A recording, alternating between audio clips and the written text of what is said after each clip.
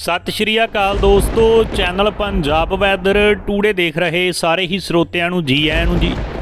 ਸੂਬੇ ਪੰਜਾਬ ਦੇ ਮੌਸਮ ਦੇ ਸੰਬੰਧੀ ਤਾਜ਼ਾ ਜਾਣਕਾਰੀ ਵਾਲੀ ਨਵੀਂ ਵੀਡੀਓ ਲੈ ਕੇ ਹਾਜ਼ਰ ਹੋਏ ਹਾਂ ਜੀ। ਵੀਡੀਓ ਨੂੰ ਸ਼ੁਰੂ ਤੋਂ ਲੈ ਕੇ ਅੰਤ ਤੱਕ ਜਰੂਰ ਦੇਖਿਓ ਤਾਂ ਜੋ ਤੁਹਾਡੇ ਤੋਂ।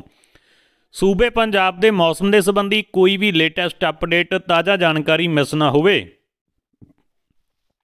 ਇਸ ਵੀਡੀਓ ਦੇ ਵਿੱਚ ਆਪਾਂ ਗੱਲ ਕਰਾਂਗੇ ਜੀ, ਇਸ ਤਰ੍ਹਾਂ ਰਹੇਗਾ ਲੋਹੜੀ ਤੇ ਮੌਸਮ ਜਾਣੋ, ਪੂਰੇ ਹਫ਼ਤੇ ਦੇ ਮੌਸਮ ਦੀ ਜਾਣਕਾਰੀ। ਸੋ ਦੋਸਤੋ, ਵੀਡੀਓ ਨੂੰ ਅੰਤ ਤੱਕ ਦੇਖ ਲਿਓ ਤਾਂ ਜੋ ਤੁਹਾਨੂੰ ਪੂਰੀ ਖਬਰ ਦਾ ਪਤਾ ਲੱਗ ਸਕੇ। ਵੀਡੀਓ ਨੂੰ ਲਾਈਕ, ਚੈਨਲ ਨੂੰ ਸਬਸਕ੍ਰਾਈਬ ਤੇ ਵੀਡੀਓ ਨੂੰ ਸ਼ੇਅਰ ਕਰਨਾ ਨਾ ਭੁੱਲਿਓ। ਸੋ ਕਿਸਾਨਾਂ ਦੇ ਲਈ ਅਗਲਾ ਹਫਤਾ ਚੰਗਾ ਹੈ ਕਿਉਂਕਿ ਅਗਲਾ ਇੱਕ ਹਫਤਾ ਸਪਰੇਅ ਕਰਨ ਦੇ ਲਈ ਮੌਸਮ ਸਾਫ਼ ਰਹੇਗਾ। ਸੋ ਜਿੰਨਾ ਵੀ ਕਿਸਾਨ ਵੀਰਾਂ ਨੇ ਸਪਰੇਅ ਕਰਨੀ ਆ, ਕਰ ਸਕਦੇ ਹਨ। ਅਗਲਾ ਇੱਕ ਹਫਤਾ ਖਿੱਤੇ ਪੰਜਾਬ ਦੇ ਦਿੱਲੀ ਦੇ ਵਿੱਚ ਮੀਂਹ ਪੱਖੋਂ ਮੌਸਮ ਸਾਫ਼ ਰਹਿਣ ਦੀ ਉਮੀਦ ਆ ਜੀ। ਰਾਤਾਂ ਦੀ ਠੰਡਕ ਵਧੇਗੀ।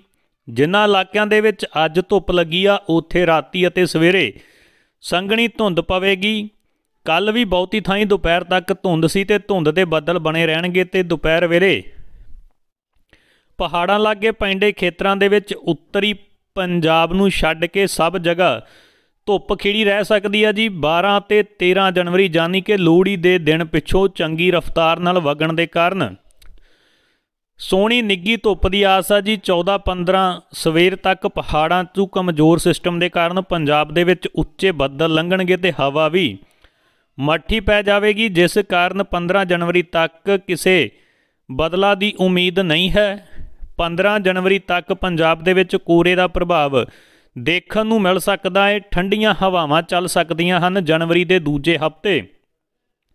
ਕੋਲਡ ਡੇ ਦੀ ਸਥਿਤੀ ਬਣੀ ਰਹੇਗੀ, ਜਿਸ ਕਰਕੇ ਅਗਲਾ ਹਫਤਾ ਪੂਰਾ ਠੰਡ ਦੇਖਣ ਨੂੰ ਮਿਲੇਗੀ। 17 ਤੋਂ ਹਵਾ ਦਾ ਰੁਖ ਮੁੜ ਬਦਲੇਗਾ 17 ਸ਼ਾਮ ਜਾਂ 18 ਤੋਂ।